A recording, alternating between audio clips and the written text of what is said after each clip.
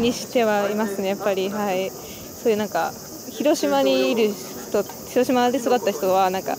小学生時代からずっと平和教育っていうのをやっててやっぱり各各その原爆その86の日についことについてやっぱり実際に体験した人からお話を聞いたりしてなんかリアルで肌で感じてる恐ろしさを感じてるのでやっぱりそういう核についての認識っていうのはやっぱり高い。集落が随分あったんです朝鮮部落この辺りに。こが今大阪の放水路なんです。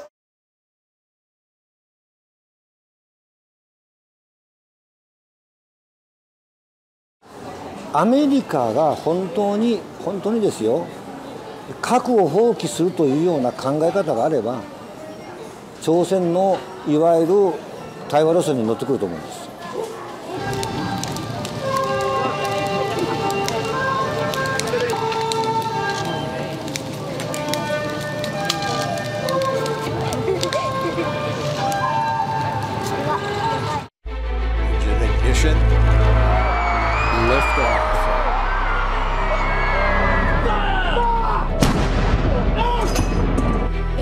represent women in politics.